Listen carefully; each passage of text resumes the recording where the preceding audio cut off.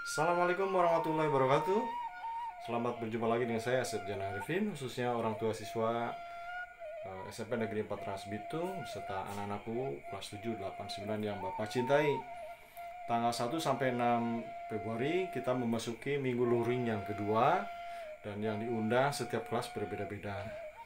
Untuk kelas 7 nanti yang diundang adalah siswa-siswa yang memiliki masalah dalam pembelajaran online atau pembelajaran daring baik belum selesai mengerjakan tugas, su- kesulitan mengerjakan tugas atau tidak memiliki gadget atau HP.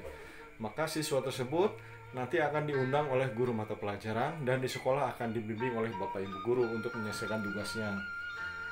Kelas 8 itu nanti eh, diundang semuanya karena berkaitan dengan pembagian rapot susulan atau perbaikan rapot.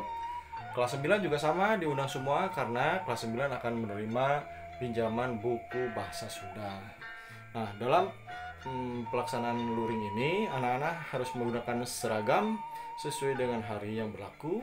Hari Senin, Selasa putih biru, hari Rabu, Kamis pakaian batik, dan hari Jumat Sabtu itu menggunakan pakaian pramuka.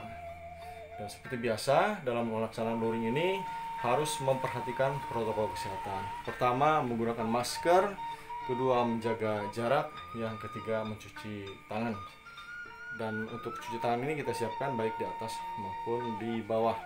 Kemudian anak-anakku datanglah sesuai jadwal. Bagaimana jadwalnya?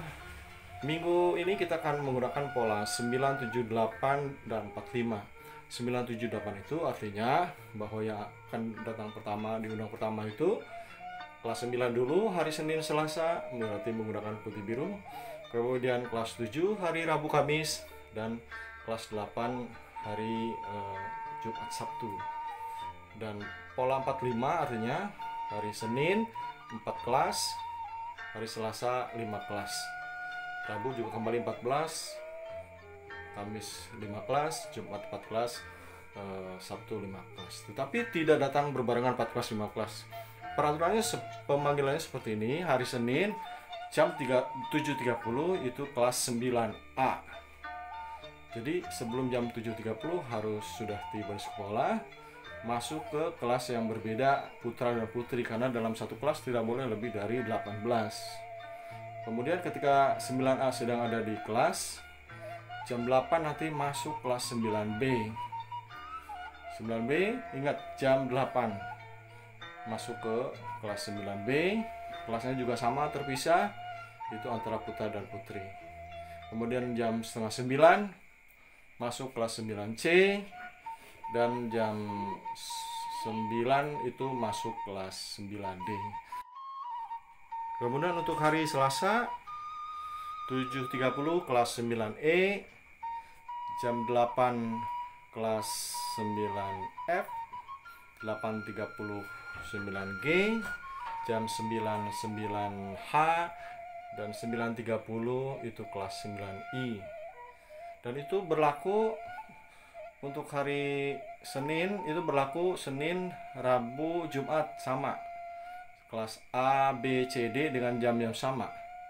7.30 rombongan kedua jam 8 rombongan ketiga 8.30 dan rombongan keempat jam 9 kemudian untuk hari Selasa, Kamis dan Sabtu rombongan pertama 7.30 rombongan kedua jam 8 rombongan ketiga jam 8.30 rombongan keempat jam 9 dan rombongan kelima 9.30 sekali lagi tidak boleh ada kerumunan.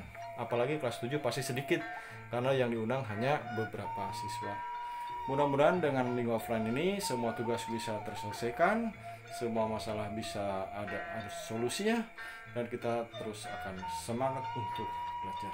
Demikian Assalamualaikum warahmatullahi wabarakatuh